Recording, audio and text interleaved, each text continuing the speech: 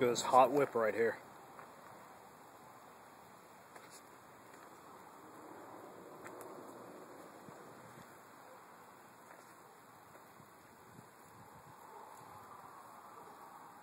It's premium Rust-Oleum.